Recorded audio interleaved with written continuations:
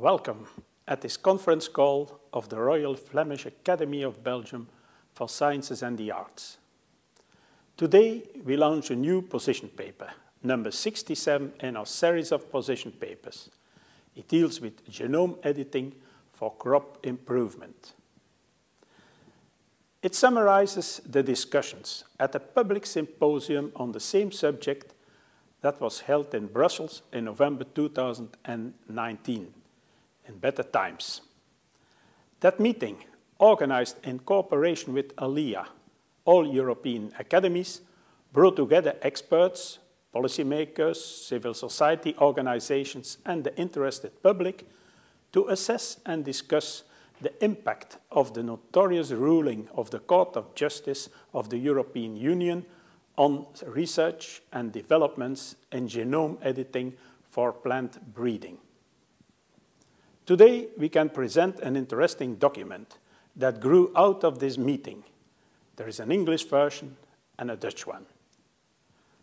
I strongly want to thank everyone that participated in its realization, especially Dirk Inzé, Oana Dima, Hubert Bocken, René Custers, and Pere Puig-Domenech. I also want to thank the participants in the debate and for sure Godelieve Gheysen, who will lead the panel discussion. She is Professor Microbiology at Ghent University and member of our class of Natural Sciences. Professor Gheysen, the floor is yours. So first of all, um, a short overview will be given by Professor Dirk Inzé from Ghent University. He is also director of the VIB Department Plant Systems Biology, and he's also a member of the Royal Flemish Academy of Belgium for Science and the Arts. Professor Inzé, you have the floor. So first of all, thank you for all this, uh, for all the participants um, of this uh, meeting.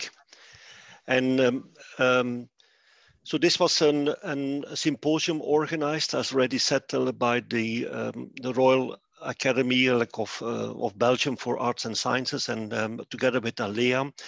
And uh, in fact, um, um, what we try to address like, is in this symposium is how um, genome editing can be used uh, for crop improvement and what the consequences of the ruling of the European Court of Justice uh, are for European uh, agriculture and food security like, in general.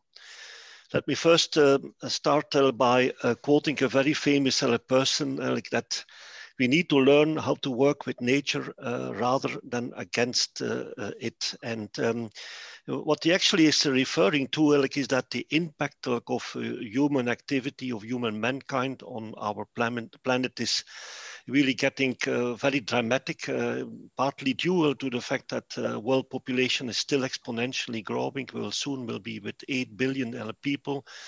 Also, this the use of fossil fuels and and economic activity in general um, uh, caused an enormous increase in greenhouse gases with climate change as a consequence. And, and this goes together with uh, disappearance uh, of nature biodiversity at an unprecedented uh, rate.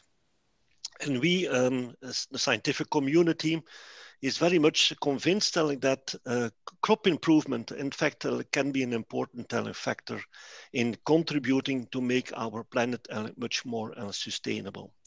For example, uh, we can develop disease-resistant varieties, which so leading to less chemicals and an eco-friendly agriculture improved nutrient use efficiency, um, so less eutrophication and uh, and pollution of waters, resilience to drought and heat, uh, which of course in climate change condition will uh, contribute to food security. Higher yields, like in fact, which leads to that you need less land to produce food.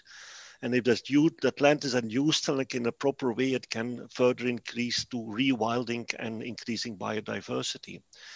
Also improving nutritional qualities, uh, leading to healthy food, more diver diversification traits in current varieties, uh, preser preservation of local varieties, and uh, bioenergy crops in the transition uh, to a carbon neutral economy. And also we can think like, on the development of new uh, wild, domestication of wild varieties.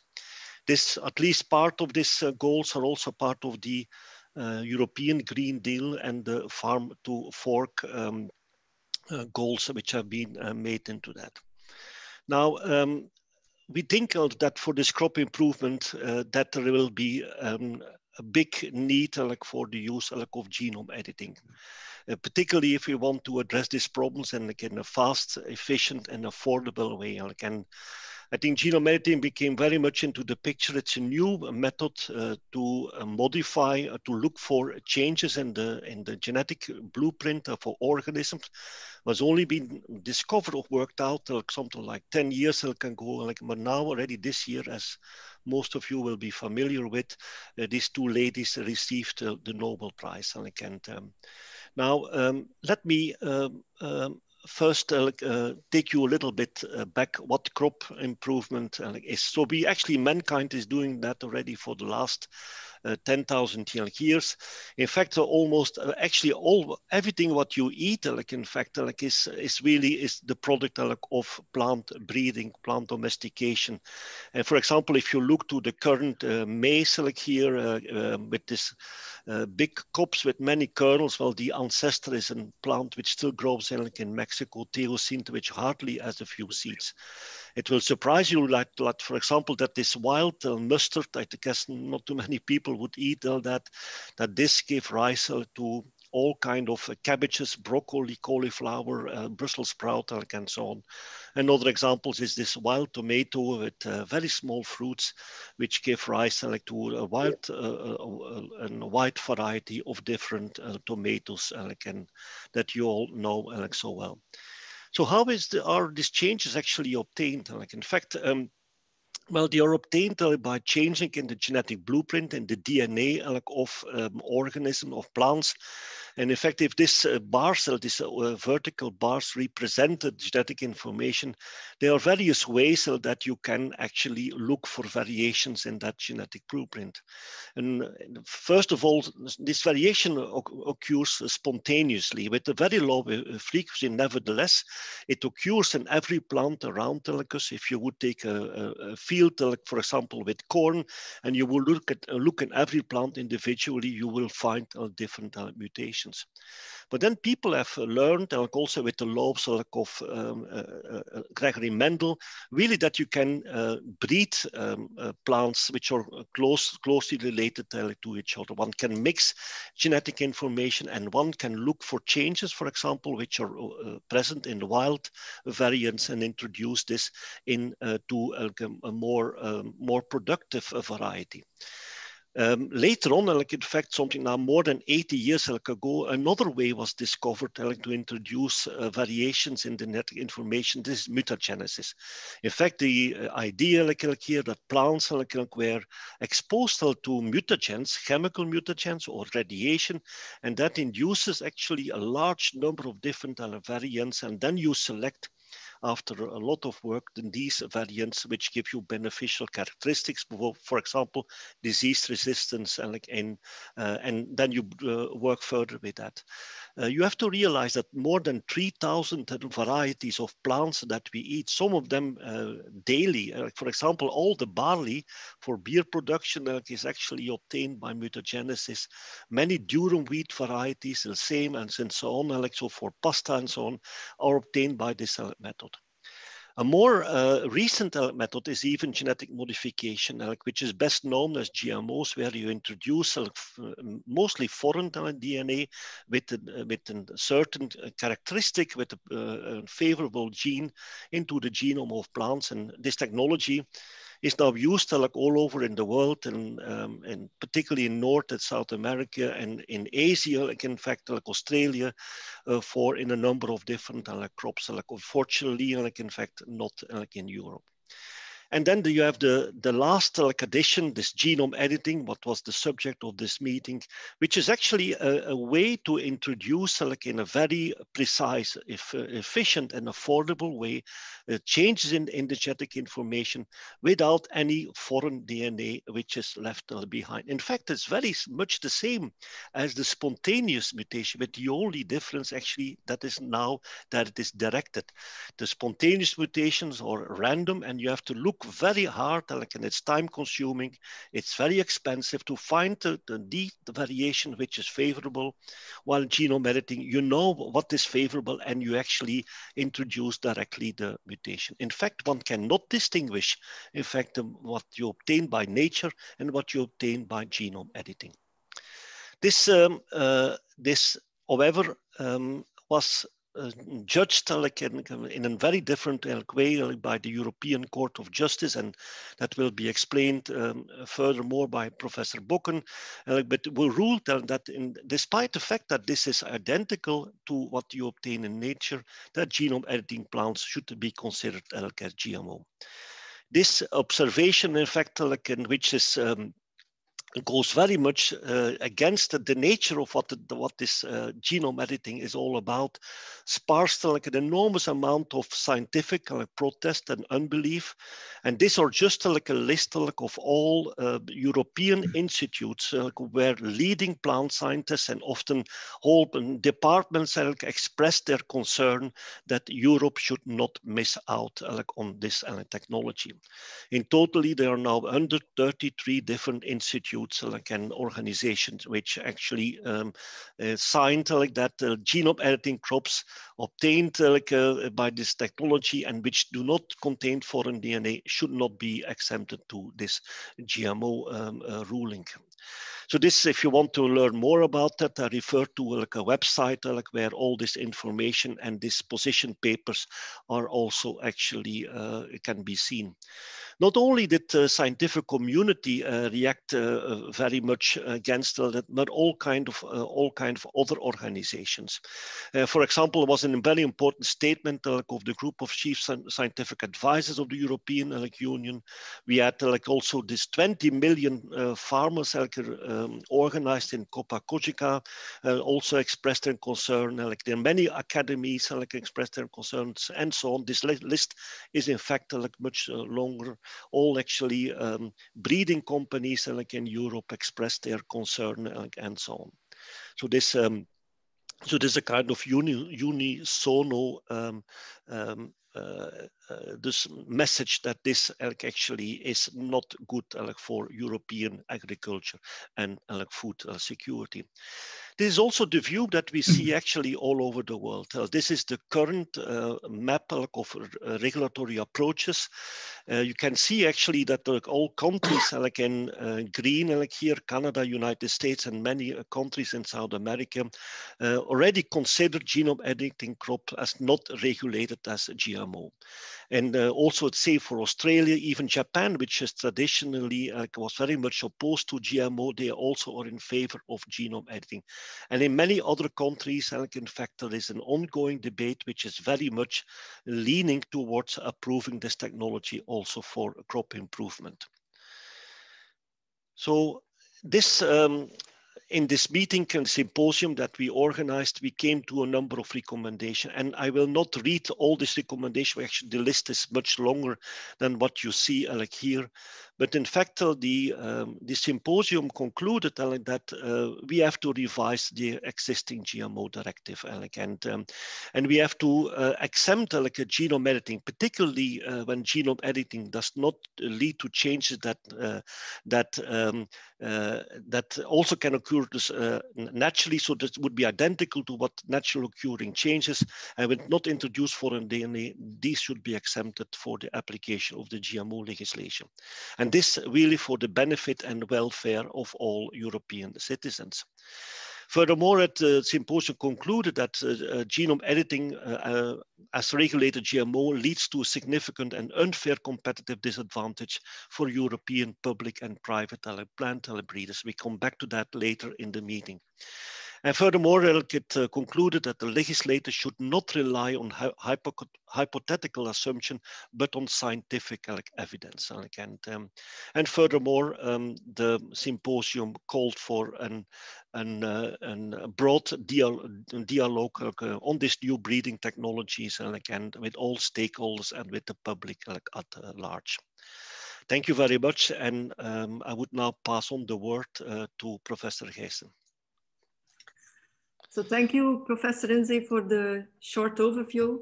Now that you have set the scene, we can go into some detail on the specific aspects. And we will do that with the authors of the position paper who are also members of the panel today.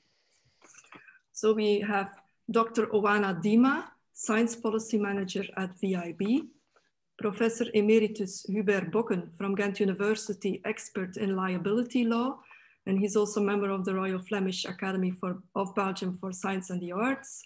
Mr. René Custers, Regulatory and Responsible Research Manager at VIB. Professor Perry Push Domènech from the Center for Research in Agricultural Genomics in Barcelona, and he's also an ALLEA board member. And the topics that we will discuss, we try to structure the panel discussion or on the next slide. So here you see that we go in detail first to the legal analysis, then to some genome alterations and science-based risk analysis, detection of gene-edited events and trade disruption, economic consequences, and finally the policy options reviews. So um, the idea is that one member will start with a statement and then after that statement, the other members can add their remarks on the basis of their own uh, background. And I would like to ask uh, Professor uh, Bocken to start with the legal analysis of the ruling of the European Court of Justice and also the implementation thereof in France. Professor Bocken, you have the floor. Thank you very much. Before going into detail on the decision itself, I would like, I would like to make three general points. Um, we all know that uh, this decision has given rise to a passionate debate um, about the desirability thereof. But I think that sometimes and probably often several questions are intermingled.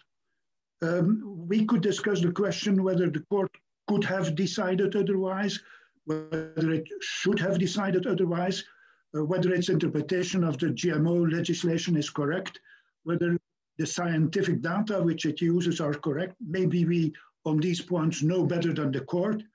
Uh, we can discuss whether it leads to a satisfactory result, but there's also the question uh, what the court actually decided. And if we want to determine the present legal status of the genome editing, the last question is the relevant one. Uh, if we are able to determine the uh, legal status, we can also determine whether it is satisfactory or not, and uh, how we should deal with it then. And then I should think that uh, if it is not satisfactory, we should start from the idea that courts are not the appropriate institutions to develop detailed rules on complex technical and scientific issues on which the legislator has not yet pronounced himself. First point. Second point, uh, the decision in question is not a routine decision which has been lightly taken. Um, it is rendered in grand chamber of the court, which means by 15 judges presided over the president, over by the president of the court himself, which is fairly exceptional. Generally, there are three or six judges. And uh, exceptional is also that it has been rendered after a clearly contradictory opinion of the Advocate General Bobek, which also is uh, fairly exceptional. So I would say it's not a decision which has been lightly taken uh, a preliminary ruling is not a decision on appeal. A decision on appeal where the deciding court decides on all issues of the case. A in a preliminary ruling, the court of the European Court provides only one small piece of the puzzle, uh, which is laid out by the domestic court, namely, what is the exact meaning of a provision of European law? Uh, that ruling on that point is binding for the referral court. Um, and that's the limit of the task of the European Court of Justice. It does not decide on scientific issues. Um, the national court is to dispose of the case in accordance with uh, the uh, court's, uh, European court's decision, but it is the national court that decides on factual issues. And uh, when it refers to factual issues, the European court proceeds on the basis of statements by the referring judge. It does not call on expert itself.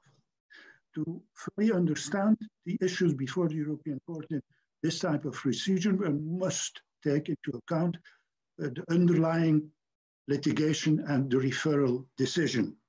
Uh, is, these decisions are documented in the European Court judgments, but if one has not sufficient information there, you can go to the national domestic decision. And in this case, this is a decision of the Council of State of France. Um, to give you a short view on the litigation leading to the European Court, uh, the, it starts in 2014. A, an NGO, Confédération Paysanne, wants to obtain a ban of um, herbicide-tolerant uh, canola varieties, uh, which under French law at that moment are accepted on the basis of an Article 531.2 of the French Environmental Code. So the Confederation asks the Prime Minister to withdraw that provision on the basis of a number of arguments, but he gets no answer from the Prime Minister. Under French law, this means that the request is rejected. Then the Confederation starts a procedure before the highest uh, French administrative court to obtain the annulment of the implicit refusal to abrogate the question, uh, the uh, provision in question, and also to oblige the French government uh, to suspend the use of a number of varieties of herbicide tolerant uh, canola. Um, maybe we can have a look at slide eight, which gives us uh, the text of the article of the French law. The next one, please. Uh, yes, slide eight, where we read that uh, the French regulation states that techniques referred to in, etc., I think uh, this is, uh, according to my data, this is slide 10. I would like to go back to slides. Yes, no, no, one further. Yes, uh, techniques referred to in Article 5312, which are not considered to give rise to genetic modification, important, are mutagenesis we see a similarity with the provision of the European uh, GMO directive. Uh, then the procedure before the Conseil d'Etat develops and all the issues which we see in the um, decision of the court are brought forward, namely uh, whether or not um, mutagenesis is a form of genetic modification, uh, whether the modern techniques of directed mutagenesis uh, are uh, falling under the uh, directive. Um, I will come back to these points, uh, but uh, there is also another issue which is mentioned in the decision of the French Conseil d'Etat, which is interesting uh, to look at because it will come back uh, at a later moment in what I'm telling. And then um, I would like to use what I have uh, as slide 11, issues before the Conseil d'Etat 2. Next one. Um, the Conseil d'Etat, as I said, the European Court of Justice does not deal with the findings of facts by the domestic court. The Conseil d'Etat makes a distinction between random mutagenesis in vivo and random mutagenesis in vitro and says that the second one is only developed after the adoption of the directive. Uh, I will uh, refer to that later. You may say that this is probably a wrong statement, but that is not submitted to the European Court, which is not to decide on issues of fact. So a number of questions are submitted, questions of law are submitted to the European Court. And I would like uh, to go to uh, the next, uh, to slide 10, uh, slide 12, I'm sorry. Yes, this is the one.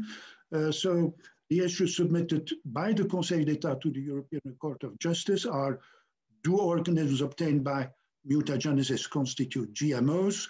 Are all techniques of mutagenesis exempted or only those existing prior to the GMO directive? These issues are arising before the Conseil d'Etat. Um, they're submitted to the ECJ, and then you see there, and you know, the answer given by the European Court of Justice, a summary. Each of these sentences here can be um, proven by specific reference to a paragraph of the court. A product of mutagenesis is to be considered as a GMO.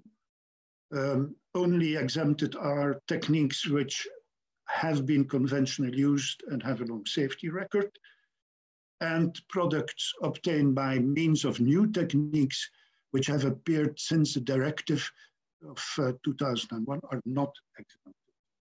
That is, uh, as a summary, uh, the um, statement by the European Court of Justice. What it says, not we think what we should have been said, been saying, or what it could have said. If we take this as a fact, not everybody agrees, but should we take this as a fact about the meaning of the court's decision, then we can uh, go to slide 19 uh, and conclude uh, that uh, this is a frozen interpretation of the mutagenesis uh, exception.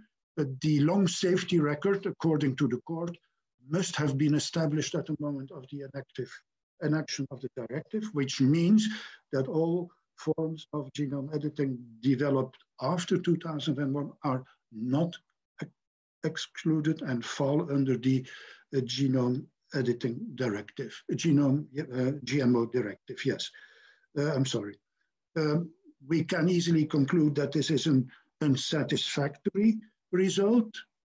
And we also can be surprised uh, when we compare it uh, to the uh, position of General uh, Advocate General Bobek, who says that you should interpret general categories in view of the scientific developments. Um, we can also be surprised when we see that the European Court has taken in essential matters of constitutional law very bold position and adopted very creative solutions. Uh, the European Union would not be what it is without the court. Why doesn't it do the same in this case? I think a court is not the appropriate institution to develop complex and detailed rules in scientific and technological matters which have not yet been regulated by the legislator. You can agree or you can disagree, but I think that is a fact. If we briefly then come back to the uh, French situation, um, the uh, French uh, situation, um, first, the Conseil d'Etat has to implement this decision. It follows the interpretation uh, of the court's decision, which I have given. Um, but maybe slide 20 adds something which is uh, fairly surprising. Thank you. Both the directed or genome editing techniques, as well as the techniques of in vitro mutagenesis, appeared after the date of the directive and must be regarded as being subject to the obligations of the directive. A distinction is made between in vitro and in vivo on plants themselves, mutagenesis. Uh, what happens further in France, uh, slide 23, uh, we come to a draft decree uh, of the French government, which amends uh, the previous provision which I have been referring to. And it now reads that um, except are not considered, so I'm sorry, re, techniques which have been traditionally used without proven harm for public health are random mutagenesis with the exception of in vivo random mutagenesis. So surprising distinction in the French uh, proposed new uh, provision of the environmental code. The result is that plant organisms resulting from in vitro random mutagenesis will fall within the scope of the regulation and the number of uh, plants will be prohibited for culture in France. Uh, this is a draft decree. Next slide, if you wish.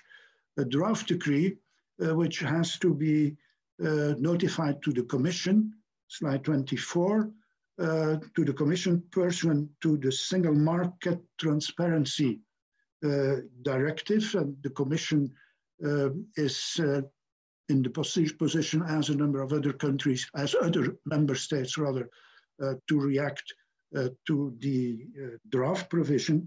And the Commission says, well, um, the draft that you propose is in breach with European law. the distinction uh, between uh, in vivo and vitro random mutagenesis uh, finds no basis in European law and is in fact not correct um, it's not correct to say that in vivo, in vitro did not uh, exist before 2001. And then uh, the draft uh, which you have prepared is also not compatible with the European seed legislation.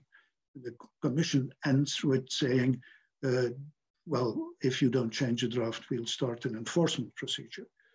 Uh, so this is to be continued in France. But I think the main conclusion that I would draw from the European uh, Court's decision is one, it is clear, in my opinion, uh, the French government interprets it exactly uh, as in the slide which I have so shown. And basically, we should address the issue by legislation, not by referring to judges to solve these complex issues. There is no doubt that the present state of the law with respect to genome editing is not satisfactory. Uh, not, uh, in, it is not in line with the developments in many other countries. I hope that I have been able to make myself clear. Thank you. Thank you, Professor Bocken. Uh, who of the panel would like to comment on this statement or has a question? Um, maybe I can um, make a make a small comment um, to what Professor Bocken has said. Well, specifically about the situation in uh, in, in, France. Um, the European Court has made very clear that when you apply the technique of mutagenesis, that the resulting organism is a genetically modified organism. If you read the legislation in France, then there's a difference there between the French legislation and uh, the European legislation because in France, the way the exemptions have been formulated in French law, um, uh, the application of, um, well, I would say the conventional, the, the, the, uh, the, the, random mutagenesis does not lead to a genetically modified organism. So they, there's a difference there. Um, and what is now happening in France is also a little bit peculiar um, in the sense that they have made that distinction between um, in vitro and in vivo random mutagenesis and um, also only specifically applied to plant cells. Uh, so when you apply these things on, on other organisms, then uh, uh, you're not within that uh, same category. Um, and they have been setting up lists of varieties of plants that um, would, well, um, now have a different regulatory status eh, based on the changes that are proposed in the French legislation. And uh, apparently there are only um, canola uh, rapeseed varieties on that list. Um, I'm a, li a, little bit surprised by that, and I don't really understand what is what is what is happening there. Um, um, may I react to your first point? It is indeed uh, true that the French article um, 531.2 uh, does not does explicitly say mutagenesis is not a form of genetic modification. However, this provision is changed in the new draft. It doesn't say that anymore. Um, because this is a decision of the European Court, uh, and the decision of the European Court is based on uh, the provisions of the uh, directive itself. Um, I have only seen a number of uh, implementing proposals. I'm sure that if this is adopted, uh, one no doubt we'll have to make other lists as well of plants that are or are not um, to be produced anymore. So we still have a draft decree and it has to be implemented. It's now clear that the draft decree may not uh, go on as it is uh, presently drafted. If France takes that decision to withdraw all these plants from cultivation, what will be the consequence for Europe? I could not, uh, well, it will not be in the um, common catalogue, but uh, Europe at this moment says, well, uh, your decision is not yet, with respect to uh, in vivo, is not acceptable. But the consequences uh, for Europe and for the market of seeds, I would like to refer that to somebody who is specialized in European uh, seed legislation, which I certainly am not. Professor Inzé, maybe you can comment on that? We, Yes, um, it is it is very difficult to to judge all that, but um, I, I, mean there are quite some uh, European varieties uh, like, which are obtained uh, by this uh, mutagenesis uh, methods, and I think uh, might have catastrophic consequences for European agriculture. And um, um, so it, I mean, uh, as far as, as, as I can judge, like uh, there are many uh, SMEs now in like in Europe, like working on crop improvement. We we are following now uh, two directions. They still continue with genome editing, and we come back to that maybe later. And uh, because it's such an, a rapid, affordable, and easy method, and on the other hand, you have uh, they continue with uh, mutagenesis techniques and some of them are in in vitro like and uh, because that's the way it works like in fact like and and that creates a, a, a terrible conflict it's a very expensive method because you create so many mutations and so it's, uh, I think uh, we are losing at all fronts. And like I think in Europe, if you continue with that, uh, let's say legislation like it is progressing now in, seem to, pro to progress now in, in France. It is not yet in force. Yeah, I know. Yeah, yeah. let's hope it's it can, not yet in force. And um, one of the remarks made by the uh, European Commission is also that the French decision, if implemented, will lead to a clear disruption of the single market, and uh, that you will get uh, quite different uh, legislation. But I would like to abstain from commenting on seed legislation. Mr. Custers, you want yeah, to... I, I, one um, um, additional comment. Um, the French NGOs were uh, very much opposed to the use of specific herbicide tolerant uh, varieties. And um, well, depending on how, how the, the, the, final legislation will be enacted in France, this may indeed result that some herbicide tolerant um, oilseed uh, rape varieties will be taken off the French market. Uh, what, what I don't understand um, why this is so heavily uh, pursued by, by the NGOs, because taking from the market uh, a herbicide tolerant variety um, is ignoring the fact that um, if you don't um, uh, grow that herbicide tolerant variety, they will grow other varieties and every conventional farmer will use herbicides on their farm. Okay, they will use other herbicides than uh, the herbicide for which that one specific variety uh, was resistant against. Um, so it's very difficult for me to grasp why there is such a such a hunt against um, specific herbicide tolerant varieties, um, as if there is no understanding of the fact that um, herbicides are much more widely used also in uh, varieties that are not carrying those specific uh, tolerances. I'm not in a position really to speak on behalf of Confédération Paysanne, as you can understand. But if you read uh, the French decision of uh, the Europe of the Council, the Council of State, the first decision of uh, uh 2016, the referral decision, then the arguments are brought forward. And I remember that one of the arguments is that if you use herbicide tolerant varieties, the uh, herbicide tolerance uh, may spread to weeds, and these weeds will become more tolerant, and you will need more and more and stronger and stronger herbicides to eliminate them. Uh, this is what I read, and I don't uh, try, pretend to give a decent uh, presentation of their arguments.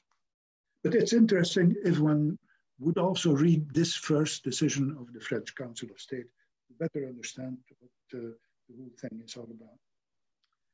I would like to finish upon this discussion points we have, because we have uh, more points to discuss. And so I would like to give the floor to Professor Puig-Domenech to give some more details about his opinion on the relation between genome alterations in general and genome editing and the science-based risk analysis that should be done. Yes, thank you very much for the invitation. I will start by following, uh, by confirming the statement of Professor Bocken that uh, for a scientist, uh, it is a very surprising debate and a debate that would not ne never have been uh, given to, to judges and to the higher court. It is a debate that has a very strong changing and complex scientific uh, background and probably the courts they do their job as uh, Professor Bocken has very clearly uh, stated, but uh, they have a very difficult job in uh, just uh, understanding the, yeah, the, the, the, basis of these uh, questions. In fact, the, one of the points that I would like to, to start with is that genome editing is just a way of providing new types of genetic variability for being used in plant breeding. Plant breeding is uh, it's uh, the, the basis of our agricultural system. Uh, farmers uh, try to use the best possible seeds that they can find adapted to their needs, to their needs of, uh, productivity, but also of quality, and also to their local environment and the input they want to, to put and the profit they can get can, uh, to, to get. So they need to have as much, as many possible seats that they can, uh, can have. And um, is what uh, now cooperatives, industries, small and big, are proposing to the farmers. And genome editing is a way to, create, to provide to those who uh, make the job of making the best possible seeds uh, to new types of variability. And uh, uh, for doing that, I will have to press to to make, uh, make it precise. You have to do the job in, in, in, in the laboratory. To edit a specific gene needs uh, it is a, for, for, for well-equipped lab, it is a relatively easy way to do it, but you have to, to have the knowledge, you have to have the technologies, you have to have the environment to do it, uh, because you have to deliver the DNA or the ribonucleoproteins that are able to make the process of uh, gene editing. And then to identify the, the plants that have been rightly uh, modified. And then, of course, these, these, uh, these plants, once you have those that have been created this new type of variability as precise as possible, uh, then you introduce these plants into the breeding uh, programs uh, that uh, exist for every specific crop. So delivery is one question. A second question is what we know as off target or different types of modifications. The, what we know is that uh, uh, the system of uh, genome editing, especially the CRISPR-Cas9 system, is able to be to precisely disrupt a gene in a specific place. Uh, what it happens there, it may be uh, afterwards, because we know that the system of repairing DNA is not very efficient, so it creates different types of modifications. And it may happen that also some parts of the, uh, of the genome may be modified. Uh, that for what you call off-target uh, modifications. So some people think that it may mm, mm, produce some kind of risk, that it may alter other parts of the genome. If you consider that uh, these, uh, if you that the, the, the genome edited plants are entering um, a program of breeding, this is normally not uh, any problem because uh, these plants have to be uh, entering, so crossing to other varieties, varieties that we know very well. And this crossing, you can, you have very good, very well developed technologies that allow you to only introduce in the, these varieties only a fragment of DNA that contains exactly the precise modifications that you have uh, produced. So you have to take into account that some things may happen, but we have solutions that uh, are normally being applied in our breeding programs. Another of the questions that are important is what kind of candidates? So what kind of genes you want to modify? And uh, uh, this, is, uh, this is based in the growing knowledge that we have now about molecular genetics of plants, that it's increasing, that we have now a wealth of knowledge that every day uh, our laboratories are publishing and uh, getting new results. And, um, but uh, you have to be precise on what kind of modifications you have, and that these modifications will produce traits which are interesting for the farmers. If uh, candidate gene are modified and then this modification has not, is not producing a trait which is of interest, it is useless. Eh? So we have to have that.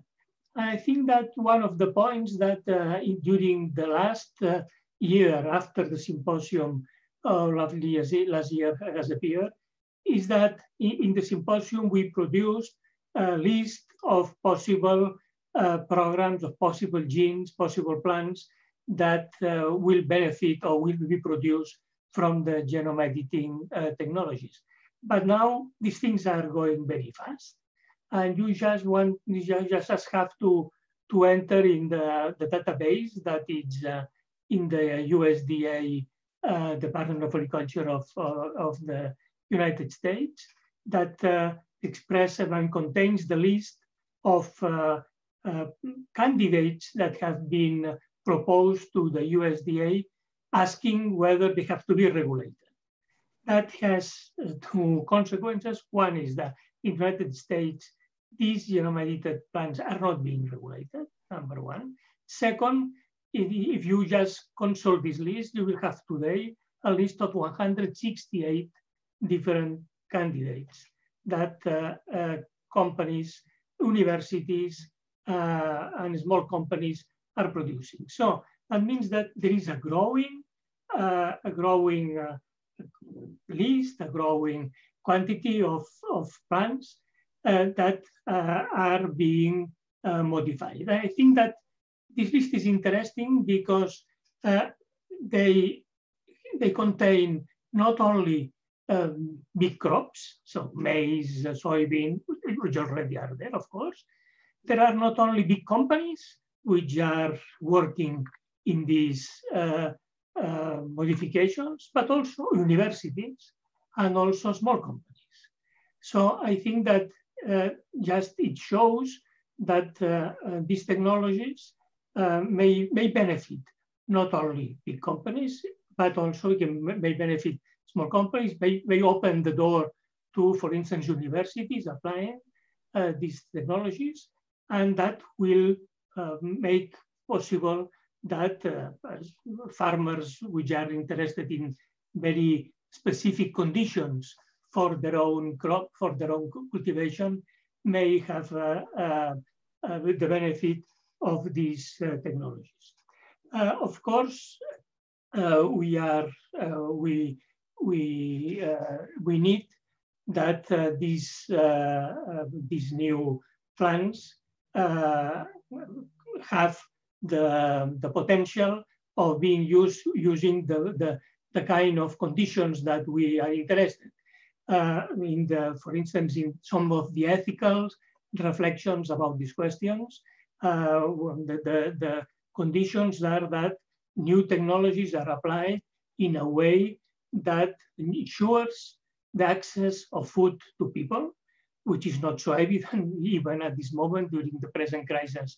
We still, we, the number of people who have not uh, enough uh, access to food, even in Europe, it's increasing.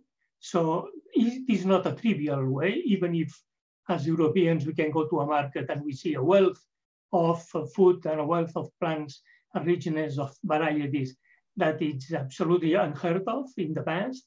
But food security, it's number one. We have to work for food security. Number two, we have to uh, ensure that the food that arrives to our consumers, and that for Europe is a very important question, is safe. So we don't introduce any problem of food safety in, in our, with the new technologies. And I think that if we consider that this is just an auxiliary to plant breeding, which is not a question of a, te a technology that appears in 2001.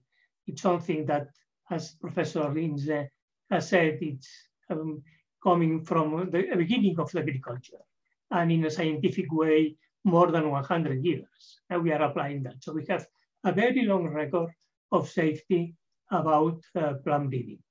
So, uh, but we have to be sure and we have to ensure and everything has to be done uh, for that. Another question that also was discussed in the, in the symposium, I will just mention, uh, the, it is the discussion is there in the report, is question intellectual, intellectual property. Uh, intellectual property is a complex issue. It's, a, it's an issue which is important for the breeders. It's important for the consumers. It's important for the perception that we have. And uh, I think that we have systems of intellectual property that uh, protect the one that has made the effort to produce a new variety. And probably uh, uh a matter to be discussed is whether the uh, patent law is adapted to these plants or not.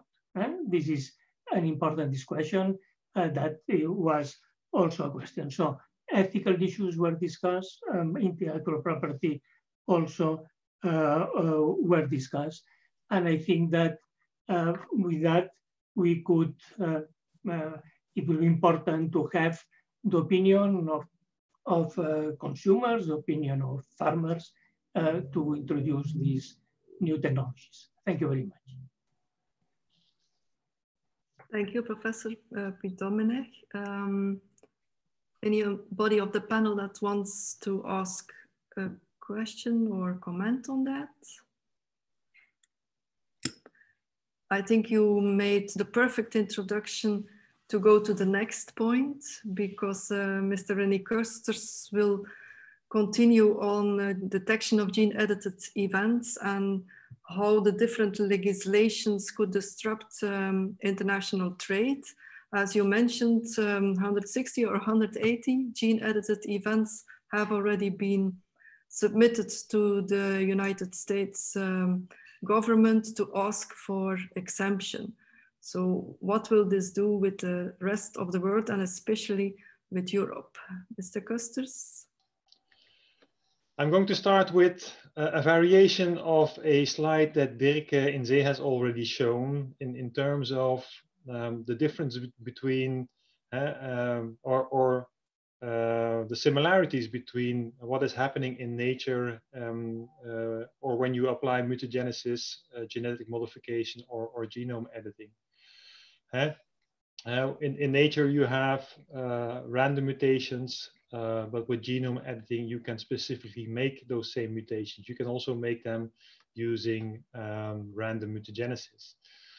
Um, with genetic modification, where it is um, mostly about the introduction of an additional piece of DNA. And in most cases, that is a piece of DNA that is not from within the gene pool or has some parts that are not from within the gene pool.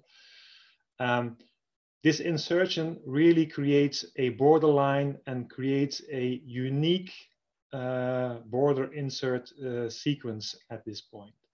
And that is, um, in fact, a very unique uh, genetic signature that you have when you um, apply, I would say, the traditional genetic modification, introducing additional pieces of DNA. Um, with genome editing, you don't do that. Um, and that is where why there's a big difference between uh, the things that um, you can do in terms of um, uh, detection of genetic modification and detection of, of genome editing. Yeah? Genome editing, when you use genome editing for the introduction of a specific mutation, this does not create a unique genetic signature. Uh, that's, that's, that's very important. Um, let's dig into a specific situation then. Um, this is the world and we are um, having trade all over the world, uh, shipping commodities from one place to the other. Um, let's, let's imagine a bulk load of pink grapefruits that is on its way to Europe. When we have pink grapefruits, um, and maybe that ship is, is entering in the harbor of Antwerp, and a food inspector in the harbor of Antwerp says, well, let me, let, let, let me take a sample of those uh, pink grapefruits. He takes a sample, uh, does a genetic test, uh, reads out the, the DNA of that uh, pink grapefruit, and he detects the presence of one specific mutation that causes the pink flesh color. He said, okay, that's, that's interesting. Um, but then the, in, in, terms of, of um, the discussion that we're having about genome editing and, and, and the legislation and, and the differences with genetic modification, here we are confronted with a problem because we can very well identify, uh, prove the presence of a specific mutation, but there is no way you can determine what the cause of that mutation is. Is that coming from a natural, spontaneous event? Is that coming from uh, the application of mutagenesis? Or is this coming from the use of genome editing as a, as a technology? That creates enforceability problems in the legislation. And I will use another example to further exemplify that. We can have other examples of all kinds of uh, commodities coming into Europe. Uh, soybeans, you name it, maize, oilseed, uh, rape, um, uh, rice, um, and much more. And when we have bulk loads coming in, that is of course um, very much a mixture of all kinds of varieties of soybean or all kinds of varieties of maize, all kinds of varieties of, uh, of oilseed rape or rice. And when that inspector in the harbor then again wants to do um, uh, GMO detection and enforce the GMO legislation, he will then take a sample and then perhaps find the following situation where he will not find um, uh, a mutation present in, in all of the sample, but he will find a mutation somewhere in, in uh, coming from one soybean from, from the sample. Um, further on in the chain, you can have all kinds of matrices that are much more complex, foods, and, and also in that context, um, the legislation, GMO legislation, has to be enforceable. And because of the fact that you cannot uh, really prove what technology has been uh, used when you find a the presence of a mutation in a small amount in a sample, that will create a, a situation that that um, makes enforce uh, uh, makes enforcing the legislation very difficult. And if somebody would challenge that in, in court, I think um, in courts, um, finding uh, such a mutation uh, will never be accepted as proof of, of the use of, uh, of these technologies. So that is a very important uh, point, I think. Uh, it, ha it has been made in, in different occasions already. Um, moving to the next point in the discussion is then, um, and I again repeat a, a, picture that Dirk has already shown, um, but of course we're in a situation there worldwide where um, the legislation differs from region to region in, in the world. Uh, Dirk has already explained, uh, we are more strict in Europe um, and in other places in the world, they have at least made very explicit in the legislation that uh, in, in certain cases, when you achieve certain types of modifications that the resulting organisms will not be well treated as a GMO and, and can be put on the market following simple procedures. Um, those plants will be grown uh, and, and those plants will be uh, traded worldwide, of the products will be traded worldwide. Um, with the disharmony that we have in the legislation, this will uh, is very likely to uh, result in, in, in, disruptions of trade or problems in, in trade. Uh, and and uh, the situation I discussed that may occur in the harbor of Antwerp may occur in other places as well These differences uh, in, in, in the way things are handled worldwide in terms of legislation also creates, uh, I think, unfair competition between farmers, traders, consumers, scientists all over the world. And that is also very important. Um, we create, create a situation where uh, in Europe, we have not the same abilities to uh, make good use, sensitive use uh, of these new uh, new technologies. And I think that is also very important. We're in a global world. Uh, we should strive for harmony as much as possible all over the world. Um, and I think we also have the situation that that uh, as, as resulting from this situation, with the lots of discussion that we're we're having in Europe, that that being in plant science, um, if you are a young scientist, um, you may perhaps um, ask yourselves twice whether or not this still is a very interesting field because maybe in other parts of the world things are moving on more swiftly. That is also a very important aspect that we need to take along in the discussion about genome editing, legislation, and the way we want to improve our uh, agriculture and food production system. Then we go to the next point, which comes uh, as a logical consequence uh, what are the economic consequences for European agriculture and small and middle enterprises? So I give the word now to uh, Professor Inzé to say something about that. Yeah, thank you very much, Professor Gheysen. Um, many points have already been uh, been raised, uh, like, and um, I think uh, maybe um, uh, to make some comments uh, like on what my uh, my colleagues said. I think if you look to the worldwide um, map, like of what's happening in the field of genome editing, and I'm really talking here from the point of view of a scientist, it's just um, overwhelming. It's um, it's a technology, like in fact, like which is now used at a scale which is um, never seen, like in many different crops, like all over the world. Uh, we talked a little bit about um, what's happening in the uh, in the US in the US, and then with this 100 um, almost 170 varieties which are now uh, waiting to be approved uh, like in fact uh, like uh, only um, by USDA and this APHIS database but um, and we are also very much aware, for example, that uh, China is pushing extremely hard, like and this uh, every day, like and uh, literally uh, hundreds of publications are published. So there's no doubt about that that this technology will revolutionize agriculture. It will uh, create um, more healthy food. I mean, we see, for example, now food coming, which has uh, really health benefits.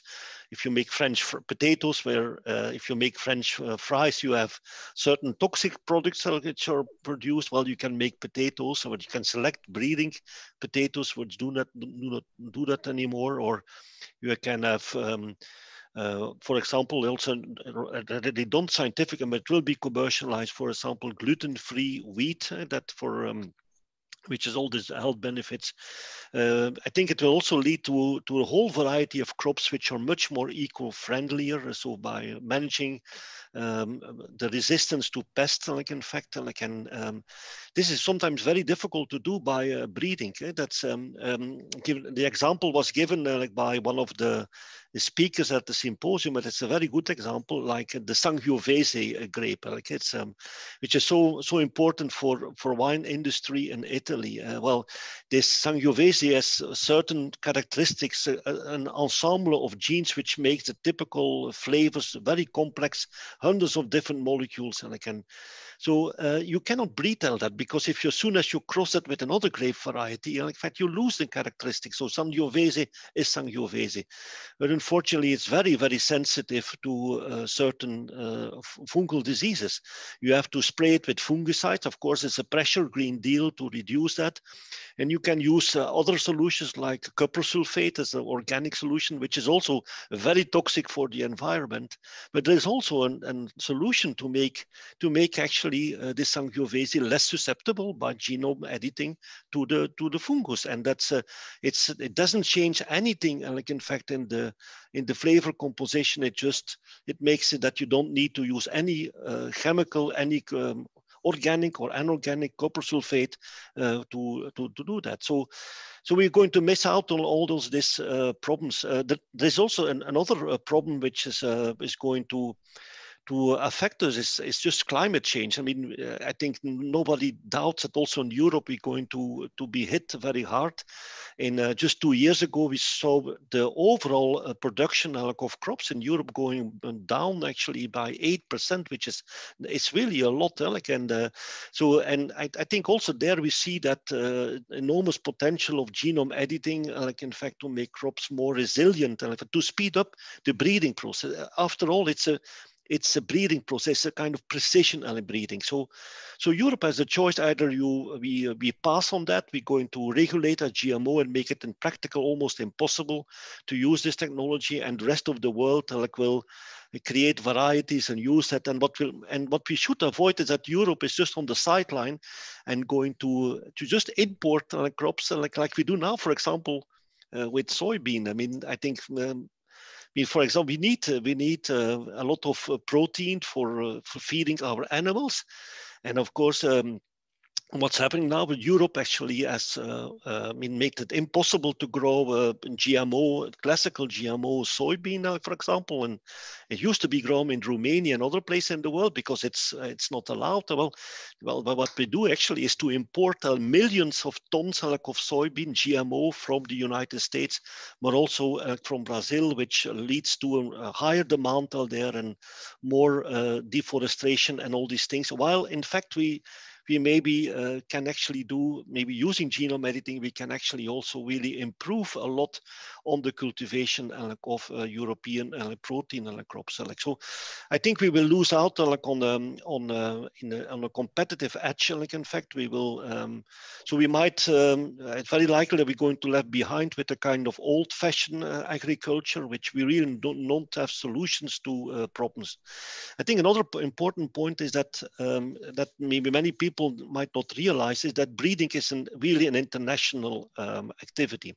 So many companies, even small ones, uh, like they have breeding activities uh, like actually going on in Europe. They do field trials, and like in fact, well, it, during summertime, and then in the wintertime they move, for example, to Chile, to Argentina, actually to to really to do the the, the, the same field trials and the same breeding, and, like, and then when it in in these countries where the, in the in the winter, in in our winter over there that is then the summer. And, and, so, of course, if you regulate um, uh, products that one you, that you, it might be very difficult uh, to to get this material uh, uh, across across like in fact um, from one continent to the other. Like, and in, in, certainly when these products are like, obtained by by genome genome editing. Like, and, and then and last but not least, I think um, this is an um, is an efficient and an affordable and a very fast method. We know what has been um, uh, explained by uh, Professor Puig. It's uh, like we know uh, what we are doing. This is 40 years of molecular understanding, like what the gene like is, what the genes are doing like in the crop. We know very well what we working with. Well, I think this this is an affordable technology, which in fact uh, can be used by many small breeding companies to bring new varieties on the market, new local varieties, which add to the, the biodiversity, which gets uh, us rid maybe more from the monocultures we're seeing in many different places. And, and so I think uh, what we have to avoid that we come in the same situation as GMOs, where only the big companies, a few big companies in the world have the resources to bring this, this product on the market. I think we should just enable that small companies in Europe actually can use this technology to really to create solutions which are adapted for Europe and, like, and to, to make them our agriculture even more eco-friendly, like and uh, uh, to make our agriculture uh, climate resilient, and and actually also to produce maybe new products like which can fits much better in the European landscape like of agriculture, like we all like to see it. Like and so it's um, it is an uh, it's uh, I think um, it's a dream to be realized, uh, particularly for all the young people in this field, uh, like that. Uh, uh that also actually this technology can be used uh, like uh, for European agriculture for crop improvement, and of course, that doesn't mean that it is not regulated anymore. There is a very, there was already alluded to. There's a very strict uh, regulation on food safety. Like in fact, uh, any every variety, whatever it's obtained by classical breeding or by genome editing, has to go through an evaluation in terms of, like, of comparative analysis with other crops. And, like, and maybe we might we might we might conclude as a legislator that we don't want certain application like herbicide resistance and so. But that's that's another discussion. It should not be the reason to block this uh, technology. Thank you. Thank you, Professor Inzé. And do you have suggestions on how to convince the politicians that in uh, Europe, where we have a lot of importance uh, for traditional food, that that does not mean that you cannot do innovation for that traditional food? Yeah, it's an, an uh, extremely important uh, point, Alec. And I think we uh, we scientists are extremely uh, bad in communication, uh, because we, also in this presentation, Alec, here eh, we start immediately to talk about uh, DNA, about genes, by mutants, like by genetic modification, all all languages, a language that we actually um, is is when many people are not familiar with, and which really make. so I think we have to really to explain with narratives what the benefits are. I think that the Sangiovese is a very beautiful model. And I think we can come up with many of these uh, narratives, uh, like in fact, uh, really to, to tell to people, look, this is an is in the technology which can help society and which can bring benefit uh, for European citizens. Uh, but we have to keep it keep it like in a, in a kind of um, it's something that almost uh, that people can touch, like you know, well, which is and certainly, I mean, it's it's a difficult technology to explain. Or you need to have a uh, mean uh, you need to have a good background in biotechnology really to understand all the complexity of how plants work how this this thing works and we should not try to do that. We have to really to get to the to translate it and what could it bring for for uh, advantages for european citizens. May i introduce another point Professor? yes of course. Uh, i think that you you, you discuss an interesting point. I mean, uh, I think that uh, uh, in Europe, we are interested, for instance, in protecting what we call traditional varieties, or we protect uh, geographical production. Uh, these, number one, these uh, varieties have to be well defined. it is important for the consumer to be sure that what he's getting is exactly the kind of uh, of uh, variety, even traditional one, traditional ones. time to time, I mean, we, we have we have worked here with a number of people who are in conservation of uh, chip conservation in banks. It is important to to to really define well. Molecular techniques are are very very well adapted for that, eh? because then uh, the farmer knows that he's sure that he's using exactly the variety, and consumer may have the guarantee that he is uh, using uh, using that. Second point is that, as Professor Inzé has said, that uh, it is something that you can, uh, is a technologies that you can use in the lab, in a well-equipped lab anyway, eh? but uh, in many labs you can do that. Uh, it is possible now to try to introduce interesting vari genetic variability in crops that have not been the subject of uh, breeding because they have complex traits which make them difficult to cultivate. And now there are examples of people who are working in interesting crops uh, that have been abandoned because they had lower productivity or resistant on the low resistance to pathogens or the quality, whatever it is. And now with these technologies, we can try to get back these, uh, these um, uh, uh variety, these species, these crops that uh, traditionally have been left behind. Eh? So there are a lot of possibilities that are open not only for big companies, for big, uh, for big uh, uh, crops, but also for specific crops that can be very interesting for farmers eh, and for consumers.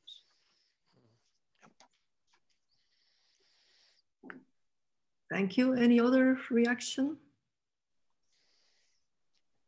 If not, then we go to the final discussion point with the panel. And this will be done by Dr. Dima, who will give a, a brief overview of the policy options that are also listed in the um, opinion. Thank you, Professor Gheysen. Um, so to go to the introduction of the policy options, I would like to say that the ruling of the European Court of Justice brought legal unclarity on plants with genetic changes obtained through genome editing. And many researchers across the world have been using genome editing for targeted genetic changes by, for example, using CRISPR. With our current knowledge of biology, we are able to introduce certain plant characteristics by making small genetic changes, and it can be really changing just few letters of the genetic code. And these genetic changes can also occur spontaneously in nature and have been selected for what Professor Inzé already said within 10,000 years and which resulted in the domestication of certain plants. So um, many researchers see a huge potential using this technology to make plants with improved characteristics for a more sustainable agriculture. And many assume also that genome edited crops with DNA changes that can as well spontaneously occur in nature are the same as crops with the same DNA changes that occur spontaneously. And as of consequences, as, as of consequence, these crops do not fall under the scope of the European GMO directives. However, the European Court of Justice ruling brought unclarity on the legal status of these genome edited crops. And therefore, uh, there needs to be a stable framework to facilitate research and innovation in Europe into new innovative solutions.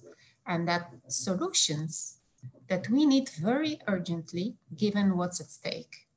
And that is why multiple actors have been looking into future policy options to enable applications of genome editing for more sustainable agriculture. And we are currently in the process of exploring which policy options would be most fit for purpose. And today I would like to uh, take the chance to present you these policy options to you. And we have to still remember that still within any policy option, still an impact assessment will be necessary to assess which policy option is most, fit for purpose to enable genome editing application for more sustainable agriculture that can be beneficial not only for consumers, but also for the environment. So I will present now these four uh, policy options. One, so the first option is, let's call it business as usual. And it's like um, that we keep the GM, uh, GMO directive as it is. then, of course, we have all the problems that we've discussed already. So the problems that uh, small and medium enterprises will not be able to develop, all the trade disruptions that were uh, uh discussed uh, by Rene. And most importantly, the interpretation of the uh, ruling will remain an issue. So uh, this was also already covered. This is illustrated by the current situation with the French decree. Now, second, make a do with what we have. So the second option is to exploit existing mechanism in the European GMO legislation. And here we could use, for example, the possibility to introduce differentiated procedures for specific GMOs. And that would result in less elaborate dossiers and risk assessments uh, requirements for those uh, GMOs. Um, however, we have to then keep in mind that uh, still genome edited organisms are then regulated as GMOs. And besides, we have no experience with, um, with this approach. So um, let's move to the option number three, which is the harmonization. So the first, the third policy options is to introduce limited changes to the European GMO legislation. And uh, the intention of these uh, limited changes would be to place those crops under the scope of the uh, European existing law in which changes have been introduced that can also arise spontaneously in nature. And these changes would bring the European GMO le legislation in line with the legislation of other jurisdictions in the world. So what you can remember already from the map uh, shown already a few times during uh, this panel. Uh, so there are several options to do so. I will not go very much in detail here, I will just give an example. So it might be, for example, an amendment of the GMO definition or the amendment of the exemptions or both the amendment of the GMO definition and the exemptions. And this has been already covered by um, many uh, learned societies and the scientists, if, for example, in the Leopoldina statement or by the French uh, plant biotechnology associations or even via students via Grow Scientific Progress. Um, and the fourth, the, the last option is to go all the way. And uh, the fourth option is to undertake a more thorough uh, revision of the, of the European GMO legislation. And well, the difficulty to, with attempting a more the, the, the, whole revision of the uh, GMO legislation, it, it's that it would expose the whole GMO directive to a much more fundamental discussion. And uh, such discussion will be difficult and lengthy, and uh, it is close to impossible to predict actually what um, type of regulatory regime will uh, then uh, result in. So um, summarizing all these uh, four options, um, that we are currently exploring uh, to solve the current situation. So the business as usual, make do with what we have, the harmonization or going all the way. I think that the aim for harmonization would be the most fit for purpose solution to provide a straightforward legal framework and to facilitate genome editing in Europe into uh, new, innovative and, and necessary solutions for a more sustainable agriculture. And with this uh, message, I would like to finish my short introduction. Thank you, Dr. Dima. Do all the members of the panel agree that option three is the most uh, desired one, or is one of you having a different opinion? Uh, I don't. I don't have a different opinion, but but maybe we. Uh, I can elaborate a, a, little bit more on that. Um, Oana, well, made a very clear statement. Well, the, the uh, decision of the European Court of Justice um, perhaps even created um, some some well unclarity. Eh? Um, there is there are a few things that are absolutely sure in, in terms of what the court ruling has meant. that is one thing that's absolutely sure is that the court has ruled that if you apply mutagenesis, the resulting organism is a GMO.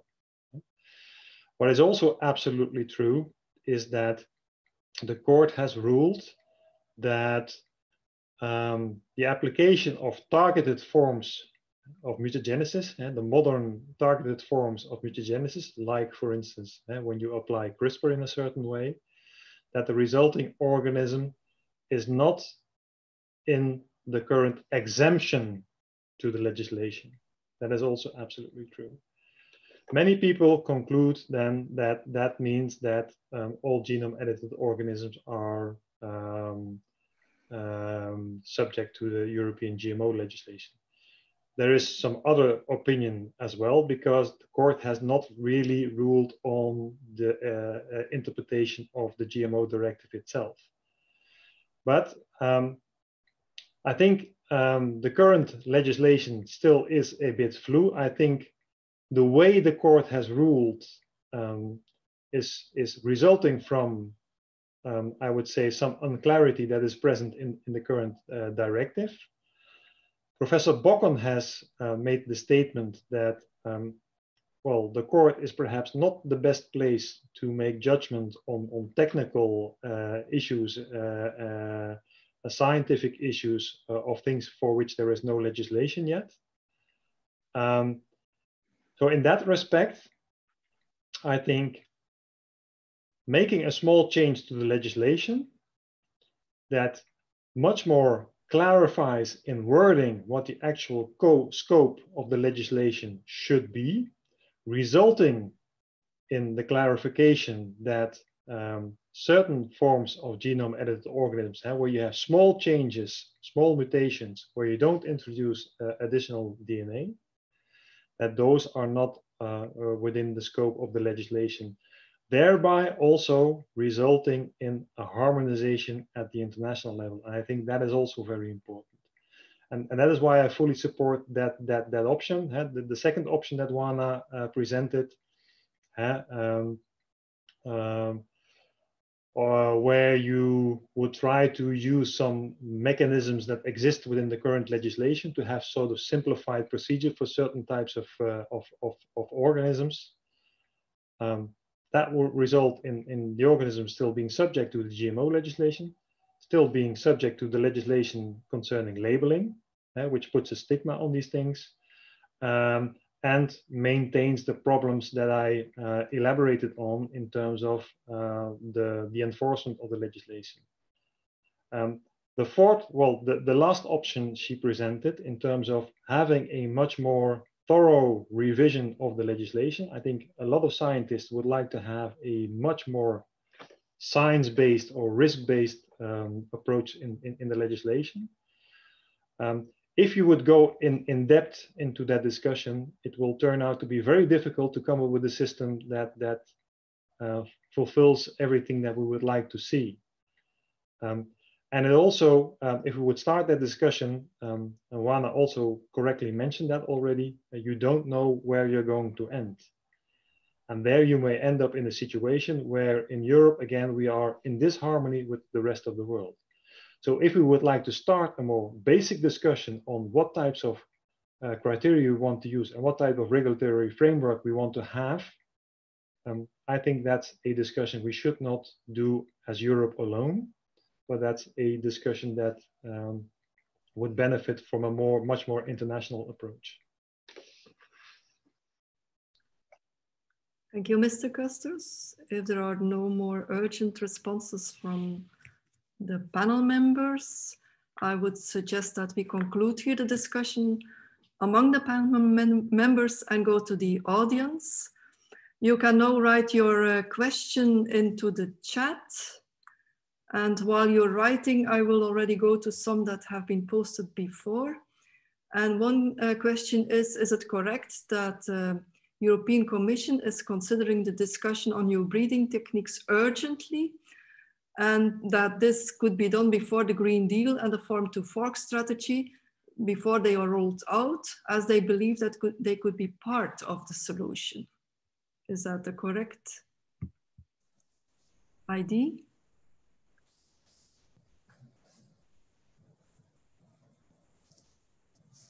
Could I uh, comment sorry, on that? My microphone was already off, I said. Oh.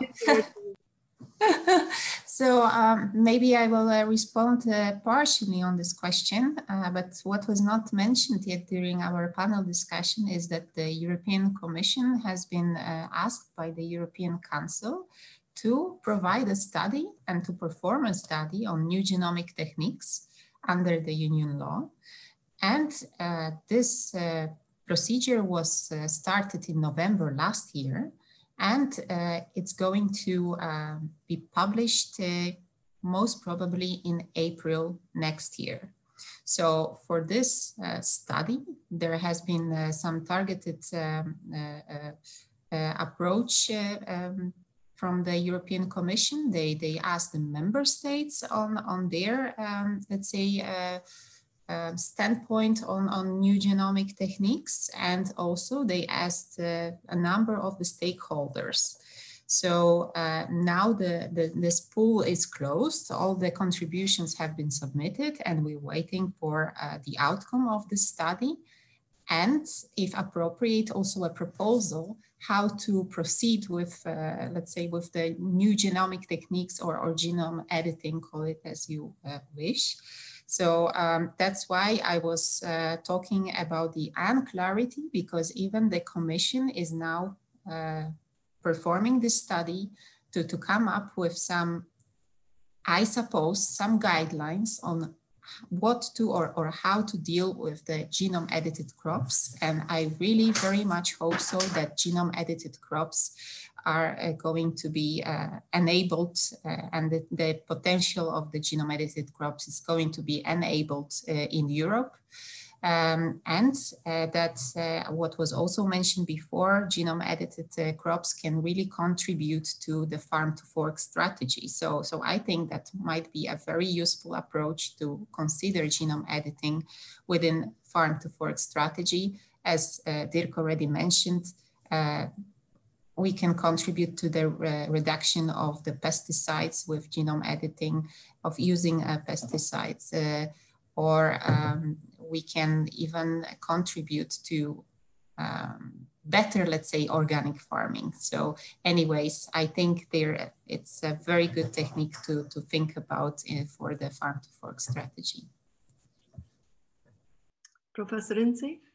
Yeah, just to uh, add to this uh, valuable comment, uh, like I think, and the, also the um, the European Commission uh, that is actually uh, using an effect-based like approach now. Like so, all the all the stakeholders were asked to uh, answer a number of uh, questions and, like, and to provide documentation of uh, claims which are made. That is also what, what the symposium uh, concluded, like in fact, uh, that we should have a more uh, science-based like, approach, a fact-based approach, and not just um, making decision op on hypothetical, unsupported um, considerations. And, like, and, and that's often that strategy is, is very very much uh, used in Europe. Uh, like uh, this is what is called the precautional principle. It's like an is a principle says, uh, yeah, um, it's you can maybe not uh, demonstrate that it is harmful now, but maybe it's harmful for the for the next generation, and if not for the next generation, for the next next generation. And so it's actually it's um, it's it without scientific support like for that. Like and I think um, with with the current challenges that we have for mankind, uh, I mean, climate change and the growing population, I mean, uh, environmental deterioration, I think we should also ask the question, like, in fact, the precautionary principle in reverted. And I mean, what would happen if we do not have this uh, technology, if we are still using old-fashioned, uh, old-fashioned breeding, uh, like we cannot adapt our varieties uh, to these uh, conditions, and maybe that's maybe also an, a question that uh, politicians should be able to to answer. Actually, like we need we need to uh, to move uh, forward and to make our uh, agriculture system, food production, more healthy and more eco-friendly. And that's so what is really frustrating me uh, and many of my colleagues uh, all over Europe is that essentially we, we want the, the same as many and uh, as environmentalists. We want to have uh, a more um, eco-friendly agriculture and, and, and we should actually be able to join forces So we're in the middle where we can achieve that in Europe and uh, can only um, only um, hope that uh, also the from a political point of view that will be taken uh, uh serious in the coming uh, year. Thank you, Professor Inzé. I will uh, take two questions that are a bit related and also related to what you just said, and I will um, shorten them so to make it faster. Um, one of the questions is, can GMOs also be used in small scale agriculture? And the next question is, what about the biosector? Um, well, genome editing can, can, can also be used in, in small crops eh, and, and in small scale agriculture. It is not, um, well, the breeding the technology used does not determine in, in, in what size or what type of agriculture you uh, can use these crops. Um, I can even use uh, a genome edited pest resistant uh, carrot in, in my own garden eh, if, if, if, I would like to. So, so that's, that's not uh, a, a, a difference. And I think, well, I do think there is an opportunity here in the sense that um, if we make sure that we don't create unsurmountable regulatory thresholds, then we will also allow the development of not only big crops in which genome editing has been used, but also much more in smaller crops for niche markets. Um, uh, and, and, and that I think will be beneficial for the use of these types of crops in all kinds of farming systems of all kinds of sizes. And then turning to the, the to the to the organic uh, sector, um, I think um, the organic se uh, uh, sector uh, is is growing, is um, putting forward a number of important things. Um, they are very much into soil fertility. That is, I think, a very positive thing, which the whole of agriculture can take lots of learnings from. Um, but on the other hand, I think there is a need and room for the combination of different approaches in agriculture, where uh, the organic sector will have its place, but I think where also other approaches have uh, its place. Uh, lots of people are talking about small scale farming, uh, short chain, uh, locally grown, etc. Um, uh, community uh, farming, uh, farming on roofs of, of, of rooftops in, in, in, cities. Those are all important things and, and can, can contribute, but there is also because of um, well the, the, the large sustainability issues that we are confronted with on, on, on a global scale, there is a need for a very efficient and very productive form of agriculture as well. Because I don't think we will be able to fill the supermarkets of large cities with, with all kinds of small initiatives, which are very good. Um, but, but yeah, I think um, we'll not be able to achieve what we need in terms of global sustainability. Um, and in that respect, I also think it is very important that those different groups within agriculture or different sectors of agriculture should not fight each other. Um, I think that is, that is a very important thing as well. It is not either or, but it is and and. And rather than fighting each other, we should be supporting each other. Uh, I think that is uh, also a very important thing. May I introduce just one question? Uh, even with uh, the, the GMOs that we have at this moment, uh, of course, we have a very limited experience because there is only one uh, that is uh, really being used in Europe. And it's essentially planted, planted in Spain. Uh, north of my town, we have a region which plants a lot of maize because they use it for feeding to animals. And this is a very windy region. Uh, and uh, when uh, if the corn borer, the insect pest, arrives for instance, in very wet spring or summer times, then the, the corn borer makes holes in the, in the plant and with the wind falls down. And so the farmer loses the, the, the, the crop. So in this region, and they have been using the, the only GMO uh, available, which is uh, uh, uh, maize, which is protected against the insect, and it protects. So the, the farmers, they have hundreds in their catalogs of seeds. They have hundreds of varieties, and they choose whatever they like. And there are about 60 varieties that have the MON 880, 810 uh, modification. So small farmers. And we have been we have been following, for instance, whether uh, there is uh, cross pollination, and it's very low because the the pollen of maize does not travel; it's very heavy, and there is no. Pro- I mean, because also they use different varieties and they pollinate, they flower at different times. So small farmers can use even present time GMOs for their own uh, uh, crops, whatever they like. We have to have, in fact, these farmers, when you ask them, they, they would like to have other varieties that protect against insects. Or uh, so, uh, and other traits which are useful for them. So even present day uh, GMOs help small farmers when they have problems like this one. Uh, just think about uh, techniques which are easier because in the present day regulations, one thing that it is very expensive to get approved. Huh? So to get approved uh, a, a, variety, it costs millions of, of euros just to make a dossier. No? So that makes that big companies may afford to invest, small companies cannot afford.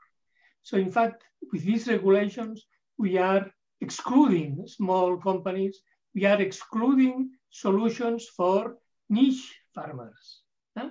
So, uh, and this is one of the reasons that uh, uh, we, we, we think that these techniques, which are easier, which may be used in a much more variety of crops and for much more variety of uh, solutions for farmers, it will be a pity to use this very expensive, very heavy type of regulation uh, that make a complete obstacle, that makes exclude uh, the, the universities, exclude uh, research centers to, to apply it, and they exclude the small farmers to be used. And that is one of the reasons that we, we, we are, that's the reason why we are discussing at this moment. Thank you very much, uh, Professor Puig Domenech, um, for this uh, interesting Spanish experience that you, you brought in. I will choose a final question because we need to end of that, maybe two. I see another one coming up. But one uh, question that I saw is that um, at the European level, they have been discussing these new techniques since 2007, even before CRISPR was there. And how can we now bring the um, uh, feeling of emergency that it has to change to keep the research and development in Europe. Who would like to comment on that? Yeah, a, a, brief a brief comment. I think um, there is a difference uh, with these new breeding techniques. Um, which were discussed before the discovery of um, uh, the use of genome editing. I mean, these were really difficult techniques to do. Like, in fact, like, I mean, um, so they, um, uh, this technology really require a lot of work. Like, in fact, very few academic labs were actually approaching that. Uh, companies really see that as a big hurdle to step in this technology. And that is, uh, that makes it also that the pressure actually, the urgency really to change something maybe was less. Like, and, but now, mean, uh, with this genome editing, I mean, I think that is clear from what is all in the pipeline and what we can see. And uh, I mean, we can only see the commercial pipeline in the US because it's open, but I'm sure there are a huge amount of other uh, opportunities now developed all over the world. I think the urgency becomes much, much, much more, uh, uh, much greater. And I think, uh, and that you see also in the in the reaction of the scientific community. Yeah? I mean, this is unisono all over Europe, like very loud and clear. All different organizations like are asking for the the same revision like of of this ruling of the European Court of Justice. I think that explains like it. Thank you. I will now go to the really final question because I see now several popping up, but we, we have to conclude on this discussion. But it's an important one. The question is, what about IP issues? Could that restrict the application of this technology on small crops?